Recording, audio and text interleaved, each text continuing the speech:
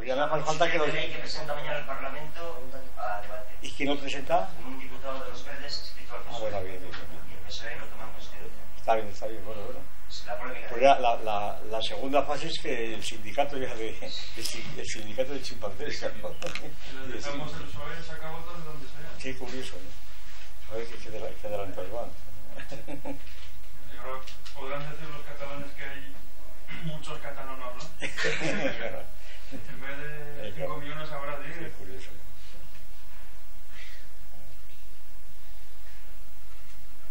No sé. No.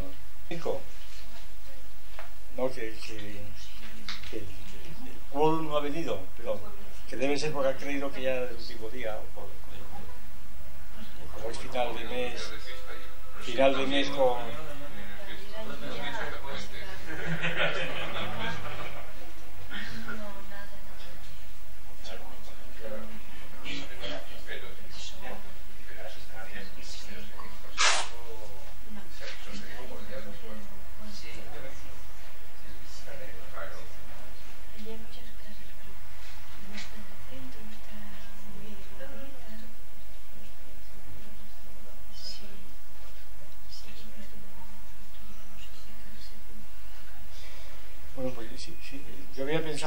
Empezamos, ya está, porque es lo más probable que no vengan.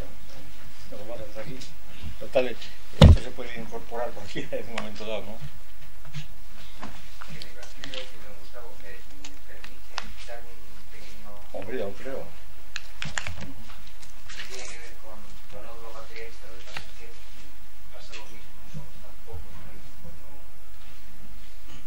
pues, que bueno, que como alguno, alguno ya, ya conoce, no, aún humeantes los cañones de la guerra de, de la independencia, pues no, no duro está preparando ya otra otra mesa redonda, otra, otra actividad en torno, en este caso, a la guerra civil. Bueno, entonces, pues para organizarla, que tendría que ser ya en el mes de junio, pues hemos pensado en traer aquí a, Oviedo a, a una persona que vive en Barcelona, que es Abel Paz, que es el, el seudónimo de, de Diego, Diego Camacho, un, un gran experto en, en cuestiones libertarias. ¿eh? Eh, concretamente en torno a la figura de. Sí, sí. Y entonces sería una mesa en la que esta- estaría también presente José María Lasso y, don Gustavo. Y bueno, sería eso, la, la visión de, las izquierdas en, torno a la, guerra, a guerra civil. Probablemente haya otra. Entonces, como resulta que esto va a tener algunos gastos, pues yo tenía, tenía la, intención, por un lado, de, de anunciar esto, que sería la primera semana de junio, cuando vamos a tener más sesiones, pues que ya la gente sepa esto. Y a la vez, pues solicitar a aquellos eh, miembros de, o aquellos simpatizantes del modelo materialista que, que no se olviden con Hola, esta buenas tardes. de, de abonar pues su, su cuota anual, que es de 18 euros, y hay que introducirla en, en la, en la caja, la caja Galicia. Está todo en la página de internet de Nódulo, nódulo.com. Allí está, sí. Todo la cuenta y Recordar, número de cuenta. recordarlo, recordarle porque esta, esta cuenta pues ha estado, eh, como podríamos decir, pues ha estado paralizada durante un tiempo por, por cuestiones prudenciales, por ese contencioso que tenemos todavía por el caso Borrego. ¿eh? Como, como es sabido, pues eh, eh, precisamente para Igual les han enterado lo del caso Borrego. Bueno, y que, bueno, ya parece que pasó, ¿no? No nos moverá. Eso es. No sabemos de qué va eso. Sí, bueno, nada, un, un- un personaje que por ahí por el año 2003 ¿eh? pues empezó a, a, a incordiar a, a otro materialista y a, y a don Gustavo. Sí, unos insultos, una biografía totalmente inventada, una cosa Y empezó, Hice una pues, a- biografía mía totalmente inventada, una cosa increíble, ¿no? Y con insultos y tal. Y, Sí, sí, una y, cosa... y con ódulo. Y luego nos enteramos y resulta que era un discípulo de López Quintas. López Quintas. Es que se enfadó mucho porque se descubrió un caso de canonización en el que había intervenido Ah, es verdad, sí, sí. una niña llamada Pilina Cimadevilla. la pequeña encima de Villa era un caso de, esta- de, de magia que había intervenido López Quintal en la canonización. Y entonces lo descubrieron y lo pusieron allí en el y, escatón de y a él no le gustó porque no lo sabía. Ah, que no lo sabía ya, ya. Empezó a amenazar con que se iba a publicar no sé qué datos, que luego se publicaron igual. Entonces mandó López Quintal, López Quintal pues tampoco le gustaba aquello, "Que a mí no me interesan estas polémicas, yo no sabía nada. Y luego pues estuvo su rato hasta que se le descubrió. Ya, ya, ya. Y se le descubrió además que había sido de Falange. ¿Quién? Este borrego. hacía mucho tiempo había escrito en los foros de Zolmaón de Falange, Ya, ya, con el seudónimo de Juan Arnao, que usaba también para difundir el- el- vamos, la página, la dirección en Ya, ya, muchos ya, foros. ya. Entonces luego pues, esto lo llevó ante la Agencia Española de Protección de Datos, donde Sí, por lo esto- visto hay gente de San Pablo CEU, que es donde trabaja él también. Ya. Esto es una magia y nos han puesto una sanción administrativa que se ha llevado a, a los tribunales a, a otro nivel. Eso, eso es lo que quería venir a decir, porque se ha llevado, de la administración se ha llevado directamente a, a, qué, a qué nivel sería, Tomás? porque tú estás más Sí, sí, eso es. eh, Estamos en el contencioso administrativo. Digo dos cosas sobre el asunto. Precisamente desde el nódulo materialista pues hubo una, respuesta muy documentada que aparece en el número 18 de, Catoplecos. ¿eh? Está todo bien, bien explicado, todo lo que está en Sí, además, en, el, en la sentencia, bueno, que está pública, aunque no tiene los datos, o sea, se, se permite hacer pública la sentencia para dar los datos de los implicados, se mezclan todo tipo de cosas y no tienen ningún sentido. Se mezclan cosas que se han dicho en foros con cosas que se han dicho en la revista. Ya. Bueno, la cuestión Y la cuestión es que tampoco nos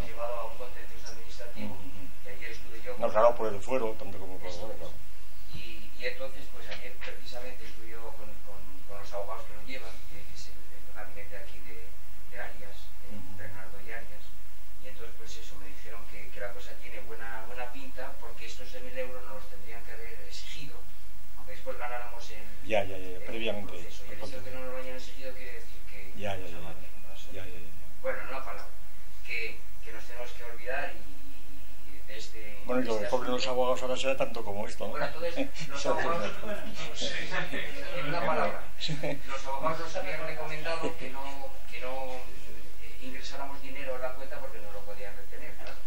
Y entonces ahora, como ya sabemos que la cosa pues no es para tanto y que parte que hemos ganado, pues nada, eh, pedir a los miembros del nódulo materialista que ingresen su dinero porque como vamos a tener unos gastos en esta, en esta, eh, en esta eh, mesa redonda que vamos a tener en julio, pues eso para, eh, para que eso recordar que, que, que tenemos que, eh, los que queramos, pues eso, introducir los 18 euros, eh, con ello pues probablemente podamos subvencionar eh, los gastos de, de la mesa redonda que tendrá lugar en julio. Era esto. Pues entonces, si les parece, leemos esto. Eh, que, hoy terminábamos la- las- el curso propiamente, porque es que yo tengo que consagrarme ya a, terminar este libro de Alicia. Y pensé como, como empezar un tema para dejarlo interrumpir en un día, y que era muy largo el de las operaciones, tocaba ahora, pues que casi prefería, si no les importaba, leerles un poco lo que va a sustituirlo, un poco el prólogo y un tema del pensamiento Alicia, para que vean por dónde va y así se da cuenta de por dónde va. Eh, claro, lo que les voy a leer va a ver que, aparte de que es un borrado, la verdad es que simplificarlo, porque si no la editorial dirá que, que la gente lo rechaza, ¿no? porque enseguida se complica la cosa como natural. Aunque piense hacerlo de la forma más sencilla, vamos, a ver cómo sale. Esto implica que el próximo lunes ya no hay. No, no, no, no, porque lo dejamos hasta octubre ya. Próximo- Lo dejamos a octubre. Yo es que el 30 de mayo tengo que terminar esto. Tengo que entregarlo a la editorial. Y, y- y empecé anteayer realmente. O sea que realmente nada. Esto es lo que escribió el fin de semana.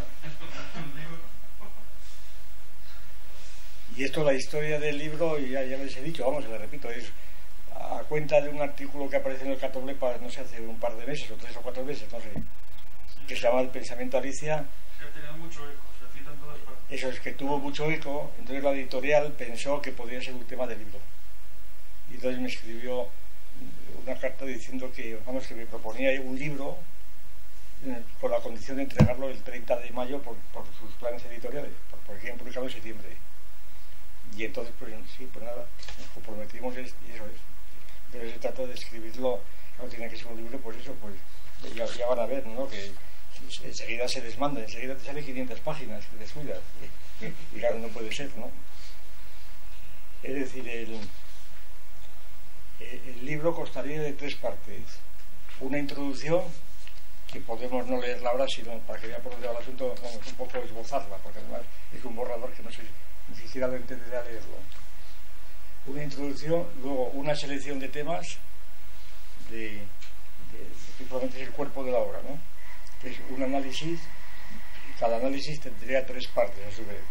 Tiene una, una enunciación del asunto, siempre con el mismo nombre, piensa, dice, tal, tal, tal cosa, ¿verdad? Entonces, un análisis del pensamiento y luego una crítica. Y luego un final.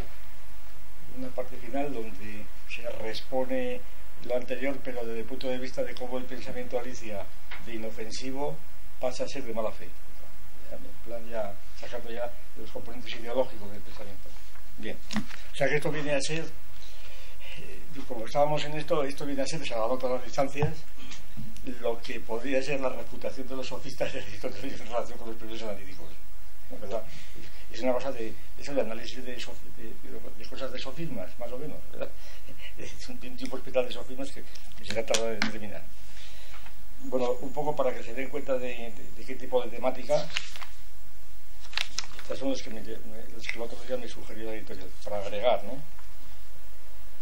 Pues, por ejemplo, piensa Alicia, Europa es la paz. Eh, Casi todos estos temas han sido, están enunciadas por políticos, por periodistas, es decir, que no están inventadas, están sacadas de, prensa o de lo que sea, o de televisión. Eh, o sea, piensa sobre Europa, piensa Alicia, Europa es la paz. Dos, sobre las civilizaciones, piensa Alicia, la alianza de las civilizaciones es el primer paso hacia la paz universal. Sobre el humanismo, piensa Alicia, el humanismo es la única ideología decente para poder que puede ser tomada como principio de convivencia en el mundo globalizado del siglo XXI. Sobre la democracia, piensa Alicia, la democracia es la forma definitiva que el hombre ha encontrado para vivir en una sociedad con libertad, igualdad y solidaridad. Piensa Alicia, la república que toma como modelo la Segunda República Española del 31 es la única forma de gobierno que puede llevar a España a una democracia auténtica. Y así sucesivamente, ¿verdad? Eh, sobre la cultura, piensa Alicia, todas las culturas son iguales y pueden convivir armónicamente. Eh, sobre la ciencia, piensa Alicia, el desarrollo de la ciencia asegura a los hombres el control de la naturaleza y de la sociedad humana. Eh, piensa Alicia sobre la religión, las religiones son asuntos mm, privados e individuales que se manifiesta, que se mantendrán al margen de la política y de educación pública que debe ser laica y tolerante. Sobre el Estado de Derecho, sobre el diálogo, piensa Alicia, hablando sentido de la gente, sobre el Parlamento, sobre inmigración, etcétera. Sobre inmigración, piensa Alicia, donde caben cuatro, caben cinco, donde caben cinco, caben seis, y así sucesivamente. Eh, sobre la mujer, este le vamos a leer hoy, vamos a ver que está. Mm, Sobre la mujer, piensa Alicia, como mujer no tengo patria, mi patria es el mundo. Como mujer no tengo patria, mi patria es el mundo. Y así sucesivamente, bueno. Eh, Entonces le- leemos un poquitín de la introducción Ah, esto es una cosa que sacó ayer la Nueva España que pone Alicia 215. Sí, un artículo de Neira, ¿no? donde se refiere a Alicia 215 y tal.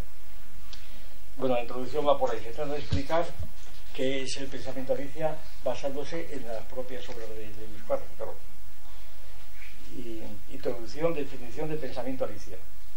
Digo, dijo Alicia, bueno, hay, que- tener en cuenta que este libro está dedicado a un público amplio, ¿no? a un gran público. ¿no? Dijo Alicia, ¿te gustaría, gatito, vivir en la casa del espejo? ¿Crees que allí te darías, te daría leche?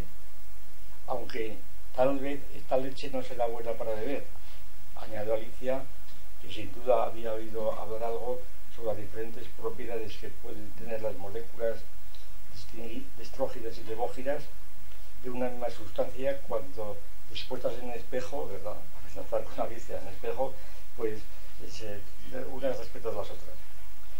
Pero mira, gatito, ahora estamos en el pasillo, un pasillo. Hasta podemos echar una ojeadita al pasillo de la casa del espejo si dejamos abierta la puerta de nuestro salón. Y lo que puedas ver se parece mucho a nuestro pasillo, aunque más allá pueda ser completamente distinta. Oh gatito, qué maravillosa sería, sería conseguir entrar en la casa del espejo. Estoy segura de que está llena de cosas preciosas. Hagamos como que hay un modo de entrar, gatito. Hagamos como que el cristal es blando como la gasa y como que podemos atravesarlo. Un instante después, y sin que sepamos cómo, ni siquiera si hay algo detrás del espejo, Alicia atravesaba el cristal y saltaba con agilidad a la habitación del espejo. La primerísima idea que se le ocurrió fue mirar si había lumbre en la chimenea y pudo y, y quedó encantada al comprobar que había un fuego de verdad ardiendo con tanta fuerza como el que había dejado a sus espaldas. Así estaré tan calentita aquí como en la otra habitación, pensó Alicia. Más calentita incluso, porque no habrá nadie que me regañe por acercarme al fuego.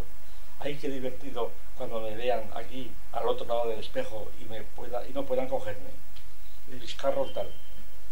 Como vemos ya en el comienzo de este cuento, pero también en otros episodios de él, así como también en muchos pasajes de Alicia el País de las Maravillas, el pensamiento de Alicia suele eh, procede representando un mundo distinto del mundo real, incluso un mundo al revés, como en el espejo, ¿verdad? Por ejemplo, un mundo en el que los pobres hacen ricos, los ricos hacen pobres, etc.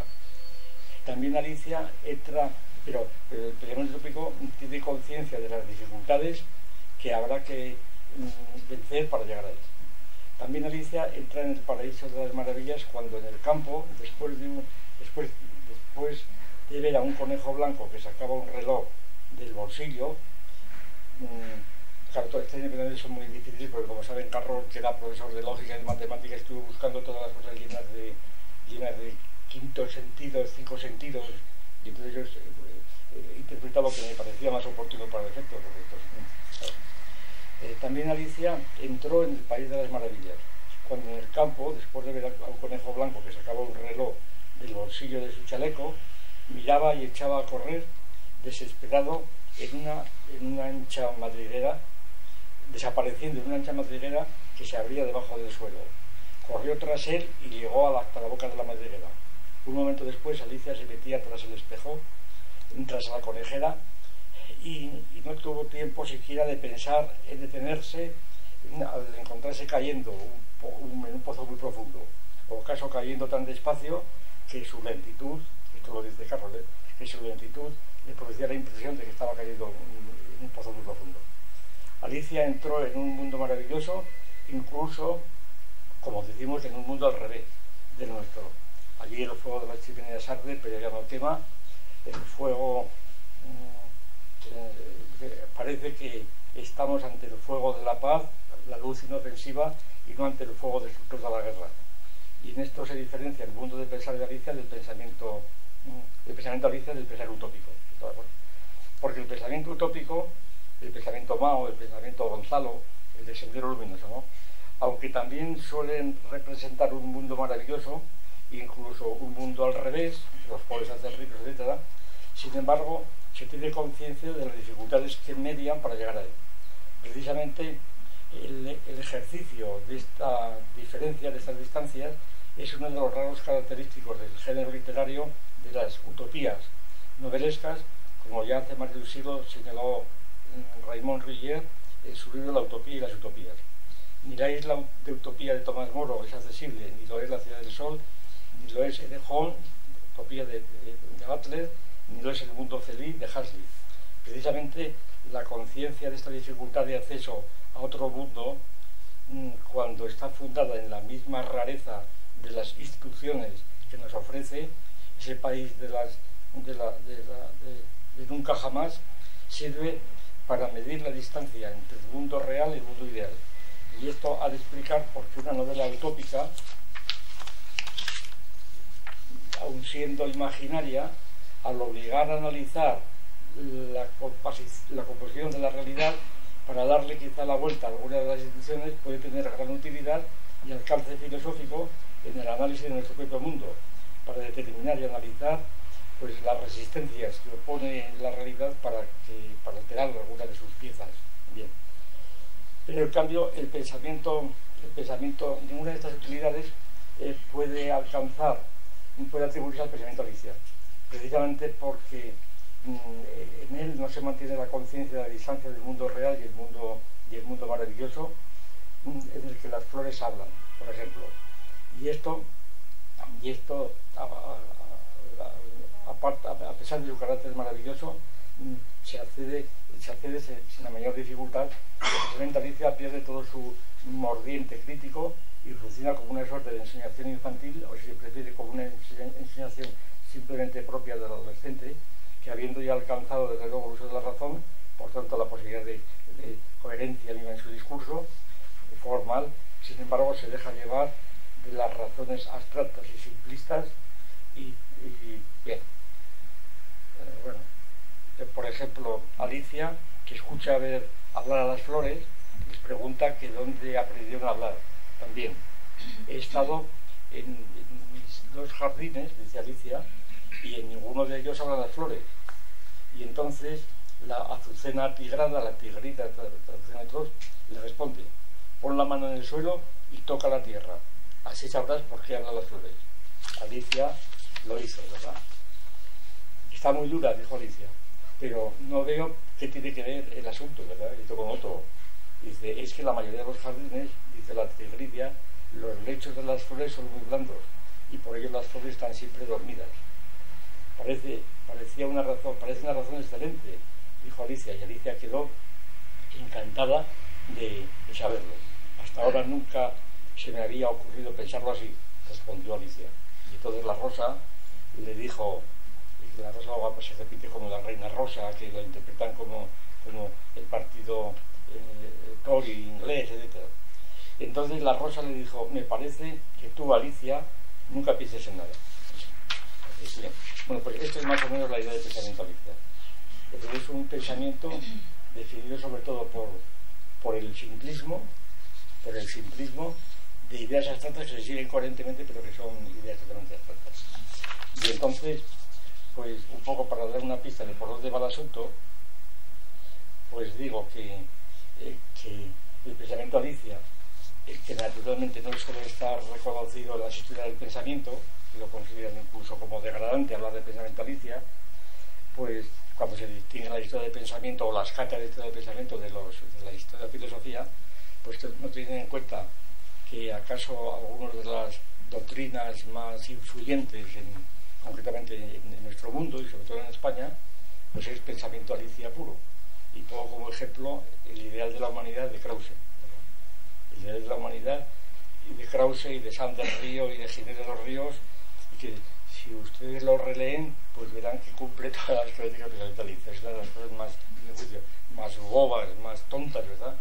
Pero que sin embargo es el pensamiento que ha seguido o que está siguiendo ampliamente, pues sobre todo, eh, ya digo, Zapatero, Rodríguez Zapatero y, y, y, el porque el, el pensamiento eh, krausista es el que ganó la batalla del marxismo, claro, en España. Le ganó la batalla, como bien sabido, por razones muy obvias.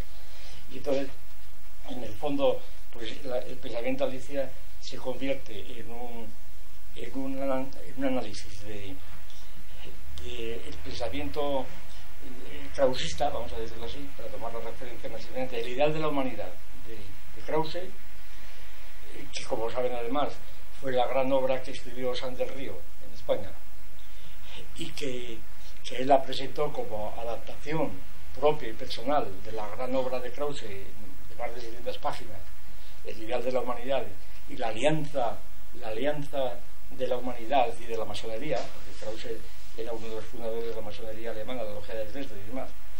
Y entonces, esta alianza de la humanidad, creo que inmediatamente eh, en su lugar eh, pues yo la relaciono con la alianza de las civilizaciones famosa, ¿no? Está, está en la misma línea, incluso líneas, ideas particulares. Yo, yo no creo, a mí me decía el otro día en, en Santander, estuvo, ya no me acuerdo qué fue, en Santander estuvimos, y se hablé de esto de la cena con, con un, uno que había sido profesor de Zapatero, precisamente, en León, y me dijo, hombre, me dijo este señor, yo soy yo profesor en la Facultad de Derecho, y le dije qué opinaba sobre el krausismo y el pensamiento zapatero, y me dijo, hombre, yo no creo que Zapatero ni siquiera haya entendido a Krause. y casi alumno mío, le digo, hombre, pero si es que Krause no tiene nada que entender. Y no creo que lo haya leído. Digo, bueno, pero que lo haya leído le ha llegado por 40.000 conductos, porque es una cosa tan dif difundida por otros lados. Es una cosa, es, ideología simple, ¿verdad? Es el humanismo, la paz y todas esas cosas. Y entonces, pues, pues así quedó la cosa, ¿no? Y entonces el, el pensamiento de, de, este pensamiento es el que llamo pensamiento al entonces como digo la, la, el, el, el, libro se convierte en un despiece de, de, temas utilizados hoy día normalmente por el pensamiento Alicia. La editorial me ha, me ha agregado que a la editorial le gustó mucho el plan del libro y me ha agregado algunos temas para que vean un poco cómo está la situación del, del, del siguiente tenor.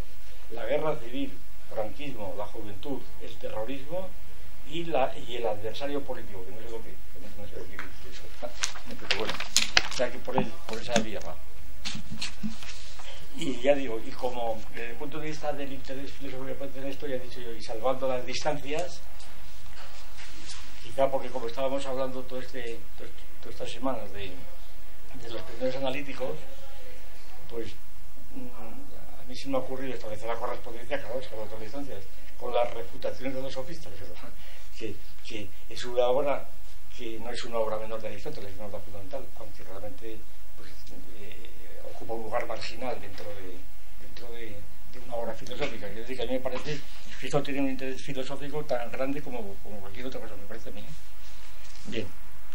Bueno, pues si les parece vamos a leer la... Bueno, he escrito también, para decir la verdad, he escrito el tema este sobre el humanismo, pero me han salido 60 folios y no me vale, claro, porque claro, 60 folios son 20 temas al día, ya no sé, 600, 1200, no, imposible, hay que reducirlo y por eso no. Y este fue el segundo que hice, mi pretensión es reducirlo aún más porque es demasiado largo, pero en fin, vamos a ver cómo resulta. El, un poco para que sirven un ejemplo de, del tipo de análisis que, que hago. Eh, tema sobre la mujer. Eh, piensa Alicia, que siempre es piensa Alicia, ¿no? Como mujer no tengo patria, mi patria es el mundo. La primera parte, paráfrasis de enunciado. Cuando Alicia, hablando en este caso por boca de Virginia Woolf, claro, esto es una frase de Virginia Woolf, dice que en cuanto mujer no tiene patria y que su patria es el mundo, está hablando desde luego en primera persona. Bueno, saben también, no sé si lo digo luego, pero sí, saben también que esta frase está tomada del discurso que pronunció Zapatero el Día de la Mujer. El Día de la Mujer, ante una asamblea de mujeres, yo se la oí, muy grande, se levantó allí diciendo, bueno, para sorpresa a como mujer no tengo patria. Pausa, y dijo, mi patria es el mundo. Dijo Virginia Woolf. Eh, quiere decir que no es una cosa que me invente yo, que está tomada de la realidad inmediatamente, ¿no? Bien. Cuando Alicia, hablando en este caso por boca de Virginia Woolf, dice que en cuanto mujer no tiene patria y que su patria es el mundo, está hablando desde luego en primera persona. Y está expresando cómo desde su condición de mujer se considera muy por encima de la fragmentación, entre comillas, del mundo en naciones, pueblos, culturas, estados, patrias no nos revela el significado de esa su condición de mujer. Ese significado permanece confuso, no distinto en sus partes o componentes, pero no por ello su enunciado deja de ser perfectamente claro, nada oscuro.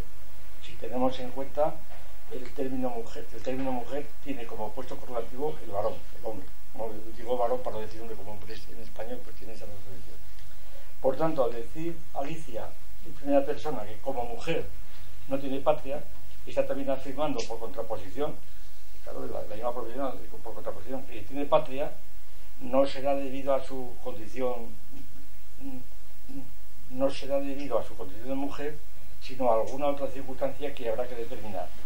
Por ejemplo, aquí está uncida a un varón en la familia o en la ciudad, cuyo yugo le arrastra a permanecer adscrita a un territorio, a una patria. Lo que podría darse por sobreentendido, en consecuencia, es que la patria con la que ella no se identifica, en cuanto mujer, es cosa de hombres, de varones. La patria será la tierra de los padres, asunto patriarcal, no matriarcal. La patria no es matria. Habría, habrían sido los hombres, los varones, los machos, quienes mmm, introdujeron la fragmentación enfrentándose al reino en el seno de la humanidad unos con otros. Y con ello se habría fraccionado también, se habría también la unidad entre las mujeres de todo el mundo. Pero cuando una mujer con pensamiento alicia intuye el sencillo hecho de que todas las mujeres, aun viviendo en las más diversas patrias, naciones, países o culturas, están sufriendo y precisamente debido a su condición de mujeres, las mismas formas de explotación, de humillación, de esclavización por parte de los hombres que actúan en el mundo del orden y de la ley patriarcal, entonces Alicia, como cualquier mujer sencilla, tendrá que sentirse solidaria de las demás mujeres en el momento en el que busca su emancipación como mujer. Como mujer no tengo patria. Dejemos la patria con sus secuelas, la guerra, la violencia, la dominación. Dejemos la patria para los hombres varones que nos esclavizan. Reunámonos todas en una gran asociación mujeril, feminista, internacional. Nuestra condición de mujeres explotadas, violadas, sometidas por los hombres, nos confieren una unidad de clase social universal que es mucho más compacta en sus fundamentos de lo que pueda ser la clase social definida por la relación de los hombres con respecto a los medios de producción. Decir que las mujeres no tienen patria es tanto como decir que las mujeres constituyen una virtual clase social universal que constituye no solo la unidad de la humanidad, sino que representa la humanidad entera, si logra alcanzar su unidad social y política. Mujeres de todos los países, unidos. Y ahí el, grito del humanismo feminista, de feminista. Un humanismo femenino con capacidad para liberar a la humanidad en la fase más elevada de su desarrollo, con una capacidad aún mayor que la concedida al, proletariado en el manifiesto comunista, cuando gritaba proletario de todos los países unidos, ya una cita, una feminista, porque si Lenin afirmaba que marxista solo es, esta es, la cita es de, de Lidia Falcón, Lidia Falcón, que yo la conozco mucho, por cierto, nada más que se me falte si quiere, porque esto es suyo, literal. Porque si hemos, porque si Lenin afirmaba que marxista solo es el que hace extensivo el reconocimiento de los, la lucha de clases al reconocimiento de la dictadura del proletariado, decía Alicia, hablando ahora por boca de Lidia Falcón en su discurso sobre el poder feminista, debemos decir de una vez por todas que el, que el feminista revolucionaria solo es la que hace extensivo el reconocimiento de la lucha de clases entre el hombre y la mujer al reconocimiento de la dictadura de la mujer. Y en esto estriba la diferencia entre la feminista revolucionaria comunista y una socialista reformista. Porque los hombres, sigue diciendo los hombres, los hombres, no los fascistas, ni los, ni los maníacos, ni los policías, ni los de derechas, ejercen todas, todos los días la violencia contra las mujeres. Violencia que constituye el nervio del acto heterosexual y que sigue actuando incluso en la homosexualidad masculina. Rodillas, que reproduce los esquemas de la opresión, sumisión, celo y agresión. Solo en el amor lésbico los, compone- los componentes de los componentes de afectividad y de ternura permiten una comunicación placentera casi nunca alcanzada con un hombre. Confiesa Francisca Sajanuja junto con Lidia Falcón en su artículo Lesbianismo y Feminismo. Artículo que termina así, y odiando al hombre, asqueadas por su contacto, repudiando su cuerpo y maldiciendo su destino de hembra reproductora, deberán prestarse diariamente, ah, de- deben prestarse diariamente al coito brutal de su, con su verdugo. Eh, y con esto Alicia se acerca, se acerca aquí mucho, mucho al proyecto de un mundo en el que las mujeres puedan alcanzar su auténtica patria. Un mundo en el cual una sociedad compuesta únicamente por mujeres, eh, por tanto con reproducción partenogenética, una sociedad que poco tendrá que ver con la prodigiosa isla de las damas de Hauptmann, que, yo analicé en el, libro sobre las categorías de economía política, una, una que prodigiosa isla de las damas mm, realiza la idea, no sé si recuerdan, la prodigiosa de la isla damas es una fantasía de Hauptmann de los años 20 que finge una isla antes de la guerra mundial, ¿no?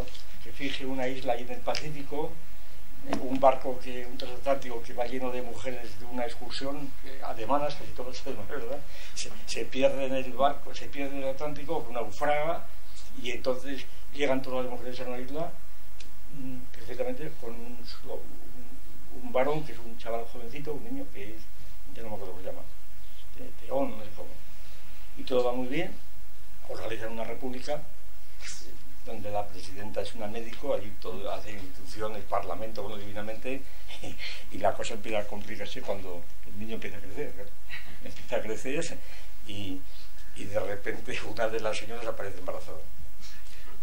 ¿Qué pasa aquí? Entonces tienen que inventar allí una, tienen que inventar un- una mitología donde yendo a tal sitio de la playa con un árbol aparece un dios y la, y la fecunda y cosas de esas, ¿no? Y entonces van pasando todas las mujeres por el árbol, por- pero hay una, una especie de, de, eh, pues eso, de, de ficción completa y de, y de hipocresía donde todo el mundo sabe lo que pasa, pero, pero nadie lo dice porque está fuera de la red de la república. Entonces, esta es una, una república feminista, claro, antifeminista completamente, pero claro, estas no van por este lado. Dice, una, una sociedad compuesta únicamente de mujeres con reproducción partenogenética, que ahora ya es posible, claro, ahora ya es posible, realizará el ideal de una humanidad femenina con el reinado del hombre-hembra, como género sexual único del reino del hombre, o si se prefiere, como especie del género humano. Ya digo, como mujer no tengo patria, mi patria es el mundo. Y ahora sigue análisis, esto es un poco la paráfrasis del asunto. Análisis. Se trata ahora de analizar el texto que recoge el enunciado del pensamiento Alicia que comentamos. Como mujer no tengo patria es el mundo. En su conexión con el contexto político que aquí nos interesa, el contexto constituido por la coyuntura de la España gobernada por el Partido Socialista y sus aliados bajo la presidencia del señor Rodríguez Zapatero. Pues fue Rodrigo Zapatero quien en la intervención que tuvo lugar el día 8 de marzo del 2006 ante un auditorio que celebraba el Día de la Mujer, comenzó su discurso, mm, como quien tiene Virginia Woolf, enunciando en primera persona el pensamiento de Alicia que, que comentamos, y que Alicia, Virginia Woolf, también había enunciado en primera persona. Como mujer no tengo patria, mi patria es el mundo. Es cierto que tras una instantánea pausa, un nuevo cambio de entonación, el presidente Zapatero mm, pues eh, pasó a la tercera persona, a las comillas, si se prefiere, aclarando, mm, como para amortiguar la sorpresa que el arranque de su discurso había producido el auditorio, dice Virginia Woolf. Estamos, por tanto, en el caso en el que, en el que un enunciado originariamente directamente formulado en primera persona mm, por una mujer es transformado como cita en tercera persona por, en, una frase que refiere a la mujer de un modo oblicuo. La cuestión es esta. ¿Qué distinción cabe establecer entre el alcance de una proposición en primera persona y tercera persona identificación de una varón y mujer o identificación de otras, si es polémica o si, o si es denotativa. Bueno, aquí hay un, análisis lógico que tendré que quitarlo porque muy enrevesado enseguida. Si nos inclinamos por la primera interpretación, es decir, la distanciación polémica, el comienzo del discurso que el presidente podría compararse con el famoso comienzo del sermón de su paisano leonés de hace tres siglos, Gerundio de Campazas, alias Zotes, cuando empezó diciendo a sus fieles asombrados que le escuchaban atentos por su palabra. Decía eh, no hay Dios, no hay alma, no hay demonio. Pausa, dicen los impíos. con esta aclaración, con esta aclaración, Fray Gerundio, después de, haber, de haberse beneficiado del asombro que debiera causar, un ateo hablando, subir a un púlpito, se desprende, se desprende esa condición y se distancia polémicamente de la tesis enunciada por el ateo furtivo. Se trata de un, recurso retórico, pedagógico, si se quiere, destinado a llamar la atención del público del auditorio mediante el asombro. Pero cabe decir que el presidente Zapatero, en su calidad de presidente del Congreso de Ministros y siendo secretario general del PSOE, utilizó en esta ocasión de modo retórico el recurso gerundiano? Seguramente no, porque su pretensión no era la de polemizar con Alicia, con Alicia, con Virginia Woolf, sino por el contrario, identificarse con ella en términos sencillos, sin complicaciones, es decir, sin mediar el alcance de lo que el pensamiento alicia es verdad. Sin duda, la conexión del discurso de Rodríguez Zapatero es un discurso, la, la, la estructura, no sé qué, es un discurso gerundiano en la estructura e intención de su arranque psicológico, es decir, atraer la simpatía, captar la benevolencia, etc. Pero la pretensión del problema en cuanto, al, en cuanto a su contenido fue corroborar su enunciado, identificándose en líneas generales con aquello que Alicia estaba mm, ofreciendo. Mm, eh, de, paso, lograba captar la benevolencia del auditorio femenino al mismo tiempo que mediante la sonrisa pues adulaba al eterno femenino de las oyentes. En resumen, Rodríguez Zapatero, al pronunciar en primera persona un, un, su pensamiento, un pensamiento Alicia, transformaba un pensamiento de tercera persona, pero que no por ello discrepaba, menos aún polemizaba con él. Bien. No queremos por nuestra parte eh, mantener mantenerlos en el terreno de la hermenéutica psicológica, aquí es donde empieza la complicación, como vamos a ver. Y que yo no, pretendo mantener en el terreno de si buscaba adular, producir sorpresa, que eso es, realmente indiferente para el caso. No queremos por nuestra parte mantenernos en el terreno de la hermenéutica psicológica, sino en el terreno de la interpretación lógica. No nos interesa tanto, no nos interesamos tanto por los motivos o fines psicológicos del orador, adulación, captación de benevolencia, del auditorio, que pone en su boca las palabras de Alicia, Virginia Woolf, queremos entender el significado objetivo de estas palabras y su alcance, al margen de que este significado o alcance no esté plenamente um, expreso en la conciencia simplista como, la en una conciencia simplista como de Alicia. Lo cierto es que el significado y alcance objetivo del mismo lenguaje envuelve a quien lo articula e incluso dirige su misma articulación y su pensamiento. Esto es debido a que la estructura objetiva de los conceptos se mantiene por encima de la intención subjetiva de quien los utiliza, como la estructura geométrica objetiva de una figura geométrica dirige mmm, también, sigue manteniéndose por encima de los escorzos de los cuales la, la figura en cuestión se percibe.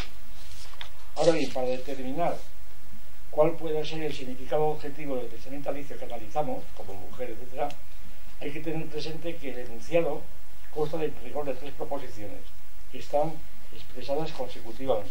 Primera proposición, como mujer. A esta frase, en cuanto antecedente de las que siguen, puede dársele en efecto la estructura de una premisa, en la medida en que yo soy mujer, que pueda interpretarse a su vez en un sentido categórico, como soy mujer, o hipotético, en el supuesto de que yo fuera mujer, etc. O que yo tengo algo de mujer. Dos, segunda proposición, no tengo patria. Es una proposición negativa que se enuncia como una consecuencia de la que precede y está subordinada a ella. Y tercera proposición, mi patria es la humanidad o el mundo. Es una posición afirmativa que presupone la primera y limita o determina en cierto modo la segunda. No tengo patria particular, pero sí una patria común que se supone que se supone a los demás hombres y esta patria es el mundo. Según esto, las proposiciones 2 y 3 dependen de la una. Es por tanto la, la proposición 1 la que necesitamos analizar de todo. ¿Y qué puede querer decir un varón, Alicia, cuando afirma eh, categórica o hipotéticamente que la, la premisa de las dos afirmaciones que va a enunciar, en la medida en que soy mujer, es obvio que, no lo, que, quiere decir con esta frase no puede separarse del significado en el que toma como, que toma como supuesto el término mujer en cuanto contrapuesta a varón. El hecho de que Alicia no distinga las significaciones que su enunciado contiene y que está presuponiendo, no quiere decir que no sea necesario distinguirlas en el análisis. Y resulta que las significaciones presupuestas, es decir, las significaciones que pueden presuponerse cuando las analizamos en una perspectiva lógica, lógica de clases, ya sea alternativamente, ya sea disyuntivamente, ya sea conjuntivamente, por tanto los presupuestos que hay que tener implícitos, pues mm, requieren un mayor análisis y que hay que empezar por el término mujer. Tomamos como mujer, tom- tomar como mujer, tomamos mujer como un concepto clase, es decir, como un concepto universal cuyos elementos o términos son individuos humanos. En cuanto a concepto clase, mujer mantiene relación de inclusión con otras clases de mayor extensión. La clase de los hombres, la clase de los mamíferos, por ejemplo, y relaciones de correlación con otras clases de su mismo rango lógico dentro de la clase envolvente, como la clase de los varones. En el lenguaje, mm, lenguaje, lenguaje inmediato de la clase de los hombres. La tecnología aquí es muy ambigua, como sabe el lector, lo que manifiesta las confusiones lógicas del asunto. La clase común en la que se hombres y mujeres se llama, desde la tradición porfiriana y lineana, especie humana, pero también se habla de género humano, de genus homo de Linneo o del género humano de la, internacional comunista y socialista. Mm, eh, pero, eh, pero por otra parte, el género humano tiene diferentes especies, de Linneo, tales como el hombre neandertal, el hombre moderno, etcétera más dificultad está en designar las especies del género hombre, designar como especies del género hombre a varones y a mujeres. Se dan más bien modulaciones alternativas de la misma especie o género, a la manera como lo- lo- las moléculas de estrógenas y de bóginas son modelos mm, o, en biología alelos del ácido racénico. Pero otras veces, sobre todo, cuando las clases mujeres y hombres se consideran desde la perspectiva correlativa, se suele llamar géneros en, el- en expresiones como violencia de género, como si, como si, mm, eh, como si fuesen modulaciones alternativas del género humano. Aquí está todo el lío que sabemos del, género, la academia desaconsejó llamar género, esto, pero no, he dicho caso, etc. Ahora bien, en cuanto a concepto clase, mujer es un universal. Aquí viene el análisis principal. Está muy simplificado por otra parte. ¿eh? Ahora bien, en cuanto a concepto clase, mujer es un universal que puede ser considerado desde dos perspectivas lógicas. Primera, una perspectiva distributiva respecto de sus elementos que son los individuos humanos, que puede ser recorrida en dos sentidos. Puede ser recorrida en dos sentidos, la perspectiva. La perspectiva está distributiva. 1A, el sentido en regresos de la incursión de la mujer como subclase que junto con las clases de los varones se subsume en la clase de las personas humanas, para simplificar. Es la mujer ecualizada con el varón, es decir, considerada desde las características biológicas o institucionales que tienen en común con el varón. Luego ocurre en geometría cuando a los triángulos rectángulos los consideramos ecualizados con los cuadrados en cuanto todos son polígonos por las propiedades topológicas comunes a ambos. La ecualización de la mujer con el varón es una oposición que logra llevarse a cabo de, de diversas circunstancias.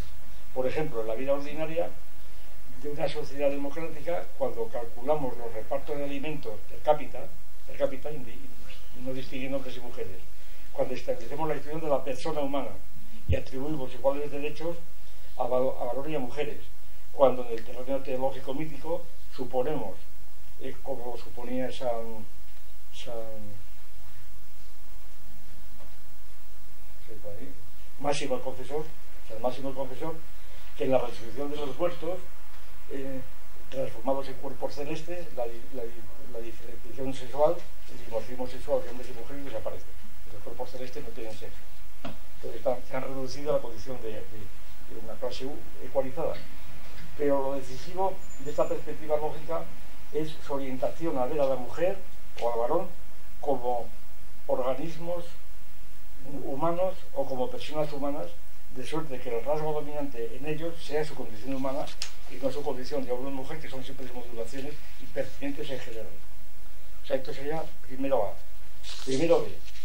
El sentido, el progreso de las relaciones de inclusión, lo, lo que conduce a no ya ecualizar a la mujer y al hombre, sino a su diferenciación en clases opuestas correlativas. Esta perspectiva de la correlación diferencial nos pone en la misma situación en la que nos encontramos en el terreno geométrico cuando consideramos a los triángulos rectángulos como una clase opuesta o correlativa dentro de la clase de las figuras poligonales a la clase de los cuadrados o figuras cuadradas, por ejemplo. Y si en la perspectiva de la ecualización tendríamos a, ten- tendrí- tendríamos a ver a las mujeres o varones como organismos humanos o cuerpos humanos o personas humanas, en la perspectiva de la correlación tendremos a ver a los seres humanos precisamente como determinados por alguna de sus modulaciones frente a la otra, correlativa. Esta es la perspectiva desde la cual la clase de las mujeres es interpretada como género frente a la clase de los varones. De esta perspectiva se habla de mujeres y hombres como dos clases de géneros en- en- enfrentados, la violencia de género o la secreta guerra de los sexos de la marquesa, la condesa de Campolange.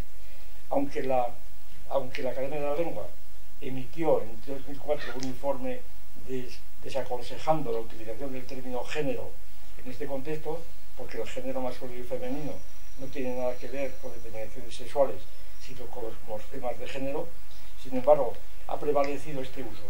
La oposición de género, según el, dimorfismo sexual, no es oposición dicotómica, sino contraria, desde la, posi- la posibilidad de, que, de elementos intermedios.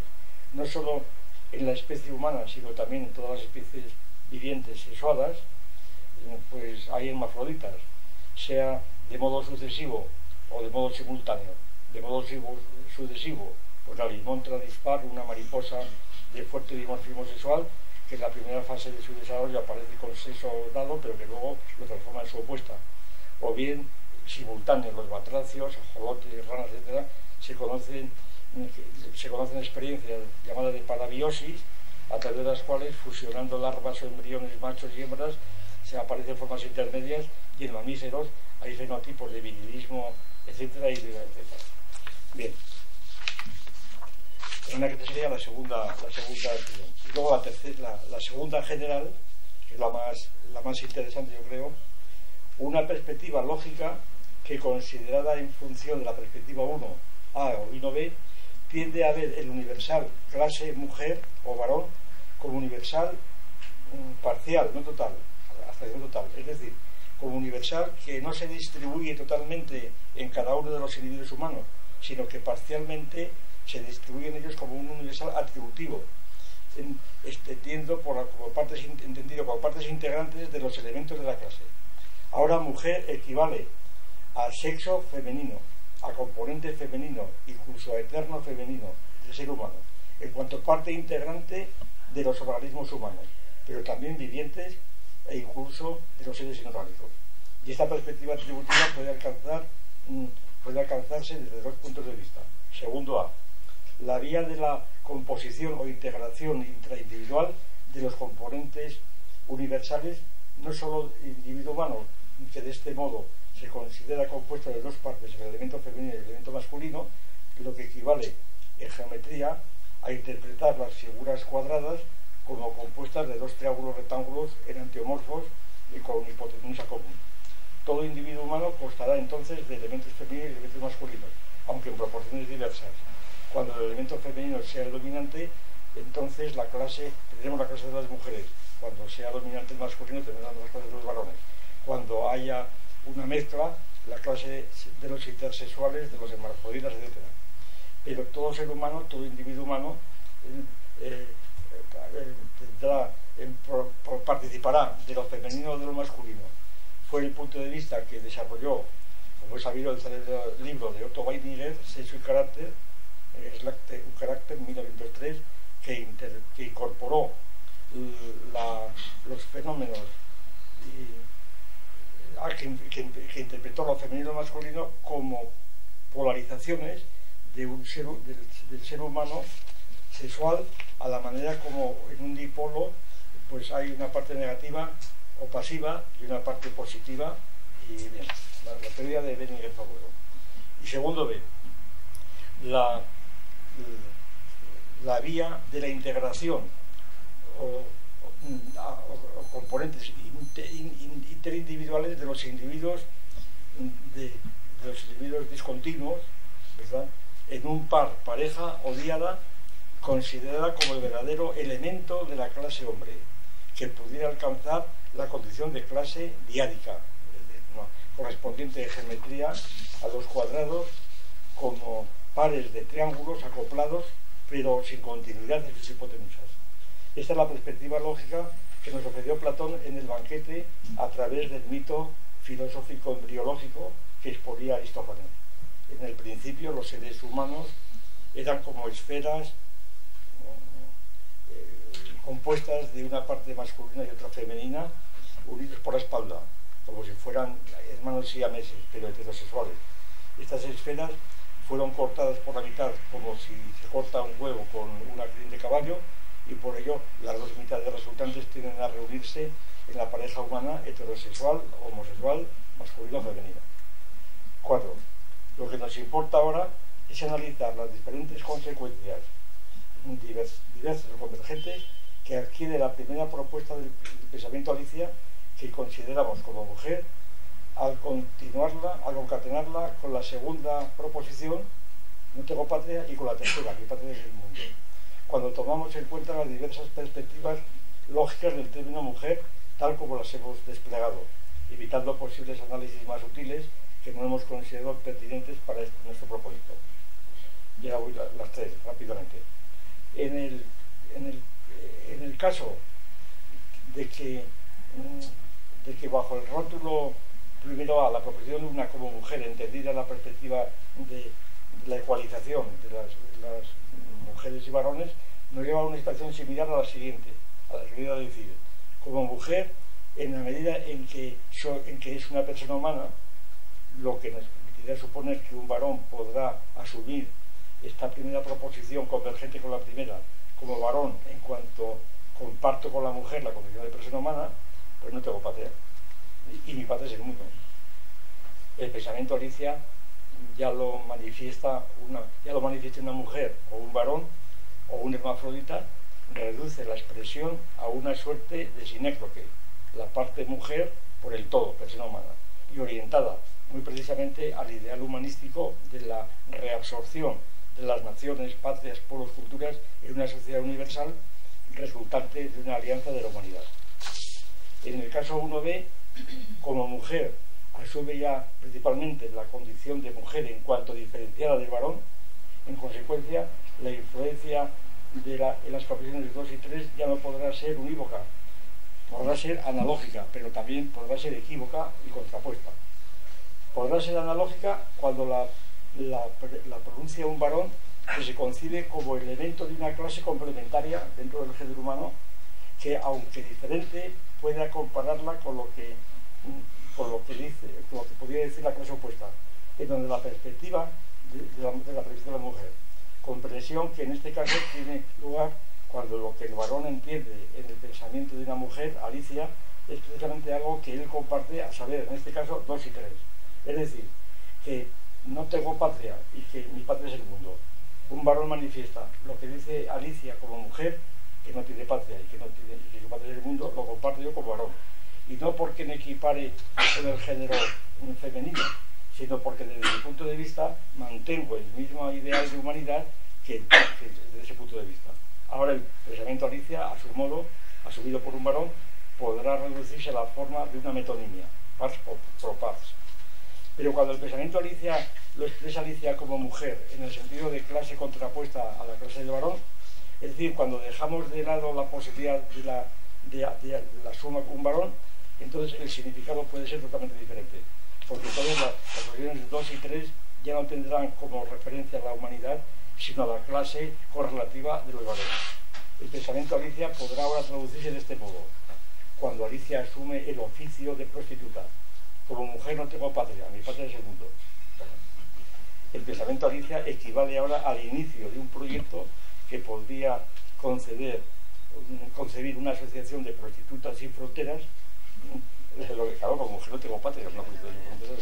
Lo que queda muy lejos, aunque sea, no sea contradictorio con el principio, con la idea de la, de, la humanidad. Es el ideal de un sindicato de prostitutas que, que, quiera solidarizarse con otros sindicatos de todas partes del mundo. Si pasamos ahora a la consideración perspectiva 2, Testamento Alicia, se hace mucho más claro, por cuanto se formulará, pero adquiere un significado inesperado en, en cuanto al significado etiológico. En el caso 2A nos encontramos, ya terminé, nos encontramos con la perspectiva Weininger, digamos, la perspectiva Weininger, pero invirtiendo la polarización, porque ahora el elemento femenino resulta ser el activo o progresista en función del ideal de la humanidad cosmopolita frente al elemento masculino que aparece más bien como reaccionario, conservador, retrógrado, puesto que mantiene la nación, la patria, etc. Cuando un varón como José Luis Rodríguez Zapatero dice como mujer no tengo patria, mi patria es la humanidad, lo que está diciendo también es, hablando del eterno femenino, que es mi, que es, que es mi alieta, no tengo patria, mi patria es la humanidad, presuponiendo que es el eterno femenino el verdadero principio del ideal de la humanidad cosmopolita, principio que, que tendrá que vencer la resistencia del elemento masculino, la derecha, etcétera, los conservadores, que tiende a mantener las fronteras patria-nación de la humanidad enfrentando unos con otros. Finalmente, en el caso segundo B, pensamiento Alicia que comentamos, adquiere una especial resolución cuando va referido a las parejas, tanto si se llamamos heterosexuales como homosexuales, etc. Este pensamiento mmm, puede significar cosas muy distintas que sería prolijo numerar y te las salto porque mmm, termina. Crítica del pensamiento Alicia de contenidos, lógicamente, los contenidos lógicos en ese pensamiento. Es un pensamiento no solo simple, sino confuso. Quien lo pronuncia no sabe lo que dice, no controla siquiera sus pensamientos objetivos, no piensa qué pueda significar. La simpleza, la simplicidad o distinción de su pensamiento es nula, porque confunde la complejidad de, de los componentes de los conceptos que maneja. Pero hay algo más. El pensamiento de Alicia, tanto si lo decía una mujer como un varón, además de adolecer de simplismo confuso, es contradictorio. En efecto, mutuamente contradictorias son las posiciones 2 y 3 que, que contiene. Porque la posición 2, no tengo patria, es contra, contradictoria con la 3. Mi patria es el mundo, es decir, tengo como patria la humanidad. La única forma de salvar esta contradicción sería distinguir los sentidos del término patria.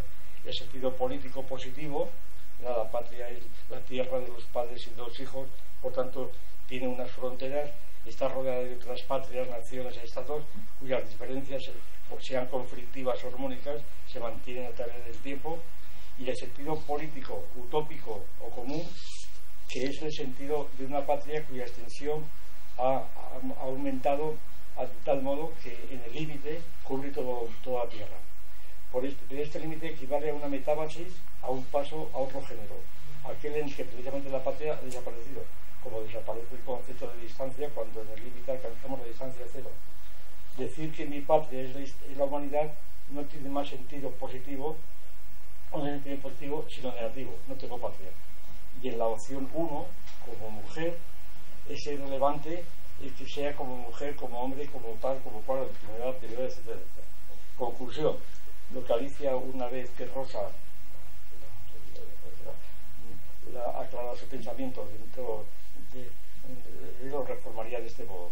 Como mujer, salvo que sea miembro de un sindicato de prostitutas sin fronteras, tengo patria. Hoy por hoy, tengo hoy por hoy una patria. Que por ahí va el asunto, ¿no? Resulta un poco, un poco enrevesado, ¿no? ¿Eh? Bueno, claro, también es para leerlo, a leerlo se se aclara más que al escucharlo, porque además no, no entendía lo que decía. Pero nada, eh, la, pretensión, como ven, es esta, es coger una frase aparentemente anodina, ¿verdad? Bueno, anodina, ¿no? Como mujer no tengo patria, mi patria es el mundo, una frase retórica, ¿no? Y resulta que empiezas a, a un poquitín que analizar, resulta que es mucho más complicado de lo que parece, que, encierra toda una concepción antropológica, o sea, totalmente. Y si es así, claro, análisis podría complejizarse mucho más. Entonces resulta que el que dice esto en calidad de presidente tiene un editor femenino y lo repite en esto, entonces no sabe lo que dice. Eso es lo que llamo presidente Alicia. Es, es un simplismo tan horroroso, ¿verdad? Que, que, que a mí me produce, me produce terror. Es realmente horroroso, claro. Claro, está diciendo Y esto se va saliendo, bueno, en otros. eh, Empecé por esto porque era el más sencillo. La acuñación de ese tipo de pensamiento como pensamiento Alicia es suyo, ¿no? Sí, sí, sí, sí, en aquel artículo que hicimos, sí, claro. Sí. Que luego que se editó mucho y se cita mucho y, y por eso lo pidió la editorial. Porque dijo, "Ah, aquí puede haber una aquí puede haber un libro que se venda, desde el punto de vista editorial, además no le importa nada, ¿no? Pero claro, cuando, cuando ha tenido repercusión también es- en, en Santander lo conocía mucha gente el otro día. Ya digo, este que fue profesor de, de Zapatero, que, fue profesor de Zapatero León, y me dijo esto, dice, yo dudo mucho que Zapatero mm, haya, haya leído a, a Sanders Río. Pero Bueno, pero si, si Sanders Río no tiene, no tiene nada que entender.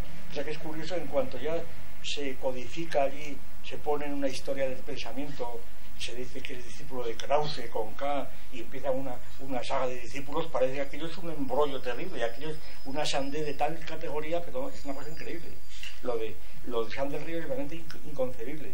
Yo, lo- cuando me he metido a fondo con él es en el, en el, en el tema del humanismo, porque ahí está clavado ¿no? el, el humanismo. El tema del humanismo, que es el pensamiento clavado del, del ideal de la humanidad. Ahí se ve absolutamente todo y, y resulta, claro que, que todas estas ideas de, del humanismo, de la paz, de, de la alianza de la civilización, resulta que es eso mismo.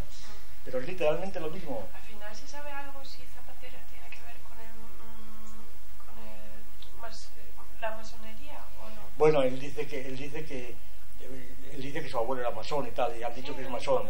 Allí me dijeron, vinieron dos señores a decirme, es que Zapatero es masón. Digo, pero si la masonería hoy día no significa nada. Vamos, que yo sepa, la masonería no es nada, fue en su tiempo. La- son los ideales masónicos que están por ahí difundidos y que siguen funcionando sin, sin que nadie sepa quién es, lo que son, claro.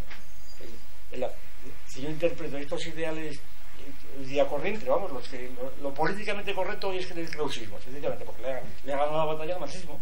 Es decir, es, el mundo- es la armonía, el mundo armónico, todo va bien, eh, hay que condenar el catastrofista, no hay problemas, ¿verdad? Desarrollo, no hay conflictos ecológicos, porque todo es cuestión de organizarlo, eh, la paz, en fin, todas estas historias. Eh, Esto es el krausismo puro. Ecología, ecología sin parar, eso es krausismo. Eh, Krause, la, la mujer, la, la exaltación de la mujer, que fue uno de los méritos de Krause, claro. El ecologismo, mucho antes que la palabra ecología la inventase este, eh, eh, ¿cómo se llama? Heckel, Heckel, la palabra ecología, pero mucho antes la, Krauss había utilizado argumentos ecológicos diciendo que el mundo es armónico, que todas sus partes geográficas y geológicas están perfectamente organizadas, luego añadía, claro que de, todas formas la armonía tiene que ser del el mundo, la naturaleza con el hombre, y por tanto a esta armonía se opone pues que en el mundo hay piojos y, y ratas, ¿verdad? incluso leopardos, y hay que, hay que matarlos, hay que extirparlos para que quede un mundo ya adecuado al hombre. Entonces el mundo es armónico. Bueno, una cosa realmente infantil, una cosa realmente infantil.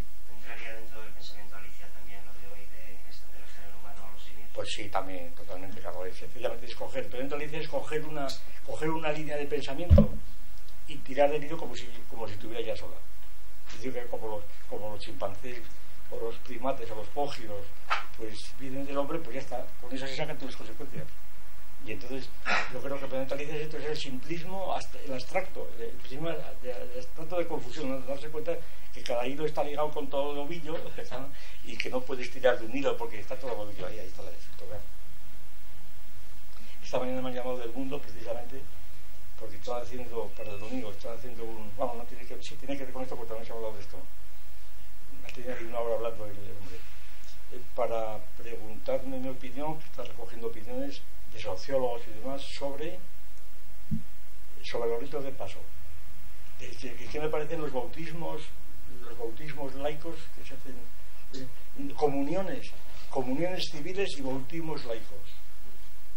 ¿Eh? Hombre, pues yo he dicho mi opinión, bautismo laico y comunión civil, que los ha promovido sobre todo por los círculos gubernamentales, ¿no? Bautismos laicos, con objeto de, como los niños que, no son católicos, pues no tienen ningún ritual así organizado, pues hacer un bautismo laico.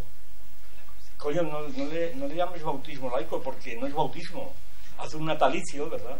Y, primera comunión, pues no le llames primera comunión, llámale pues la toga pretesta de los romanos. Pero no, no porque es anterior al cristianismo, además. Es decir, no, no hagas una especie de pseudomorfosis con ceremonias católicas, déjalas a los católicos que hagan lo que quieran. Pero no hagas una especie de parodia de aquello llamándolo bautismo. Claro, pues no. Matrimonio. Que luego dicen, "No, es que el matrimonio, claro, es cosa de los curas, coño, pero si el matrimonio es muy, anti- muy anterior a que hubiera curas, ¿eh? claro. Basta ver el derecho romano y cualquier otro derecho, ¿no? Que tiene que ver, es está la incultura de la gente. Bueno, pues a este hombre me ha, me ha costado Dios de le ayuda, ¿eh? Porque resulta que él iba de progre. Y eh, he tardado mucho tiempo dando cuenta por dónde iba, no me acuerdo cómo se llamaba, el domingo saldrá.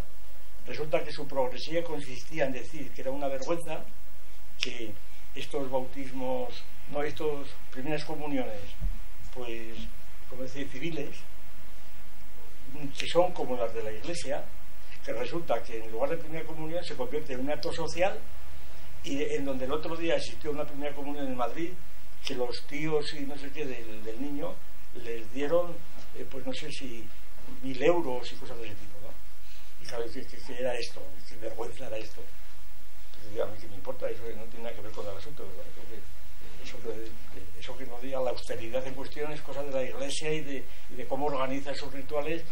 No, pero eso es puramente social, pues eso es la clave de la primera comunión y del bautismo. ¿Qué quiere que sea? Eh, salvo que tú creas que es el cuerpo de Cristo. Dice, sí, es que una sobrina mía está muy contenta porque le han dicho que es el cuerpo de Cristo que le va a recibir. Bueno, pues muy bien, pues si se lo cree y está contenta, pues está contenta, pero eso está mucho diferente, ¿no? O sea, a él le parecía eh, que, eh, que lo que se debía hacer era que, las primeras comuniones pues, católicas fueran austeras.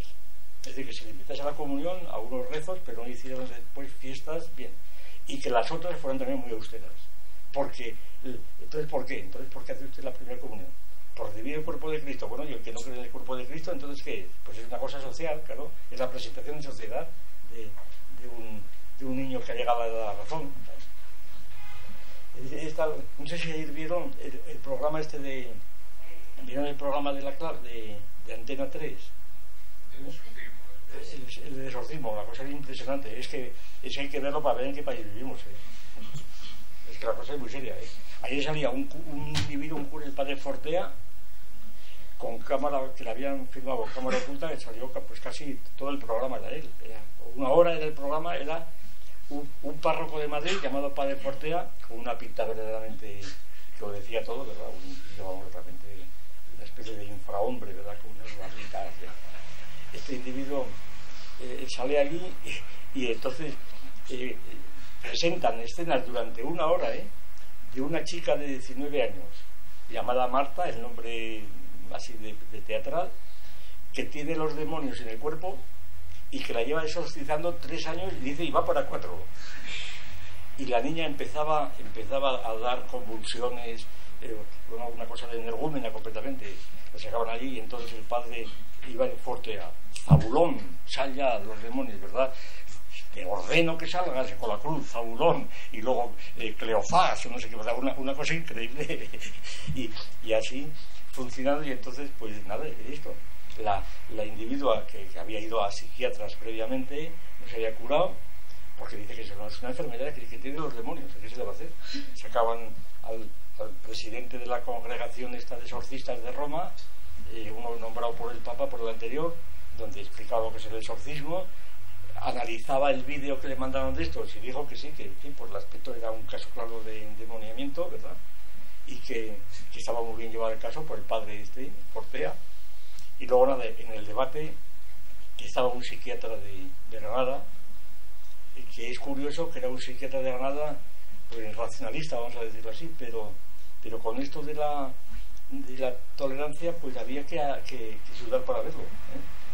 Porque decía, no, no, yo no quiero ofender al padre Fortea. Yo no, no, no, Eh, pero ¿cómo vas a ofender después que estaba diciendo que sin fabulón y tal? Y la presentadora, la presentadora, que además era la niña de Gustavo, la que le llamó, y que yo también la conozca, pero totalmente arrastrada por su oficio, por su oficio de presentadora, que a la menor desvío le quitan del programa, eliminan el programa, pues estaba allí, que una neutralidad no sabía lo que estaba diciendo. Y cuando empezaba Gustavo, que es el que atacaba ahí a fondo al asunto, ¿verdad? Sobre el supuesto demonio, inmediatamente se, se asustaba y, y, y, pasaba de conversación. No quería, no quería entrar en la discusión porque le aterrorizaba. Y, sin embargo, es que le había llamado. Una cosa curiosa. Y luego estaba para reportero, luego había un parapsicólogo, un subnormal que había allí, un subnormal, que estaba por allí hablando, ¿verdad? Y luego, y, luego estaba el periodista, y el periodista del mundo, que es el que había estado de testigo y que dijo esto es un camelo, que era un... Eh, ah, porque sostenía que había levitaciones, levitaciones. Y, me acuerdo que dijo Gustavo que una, una cosa que más, que más me, parecieron bien, que dices, mire usted, si hubiera habido levitaciones, la noticia sería la levitación, ¿verdad? Que, que, se había interrumpido la ley de la gravedad y no, y no eh, que habían sacado los demonios.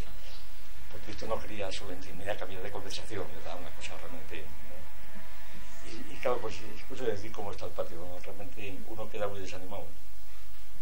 Porque esto es, el, porque la mayor parte de la gente, por lo que yo sé, eh, salvo, que es lo que, me, lo que me han dicho que pasa en Estados Unidos, lo ¿no? donde hay 130 millones de gente contra Darwin,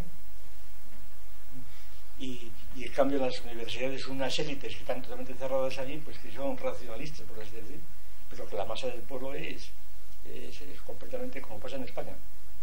Ver la masa aquí del pueblo no es más que ver las procesiones de Semana Santa. ¿no? Y realmente se cree todo. Y entonces que sigan hablando de derechas y izquierdas en estas características, la cosa que debe moler, ¿eh? Que debe moler. Bueno, pues nada. Lo dejamos aquí, si les parece. Es tarde. Y hasta octubre entonces.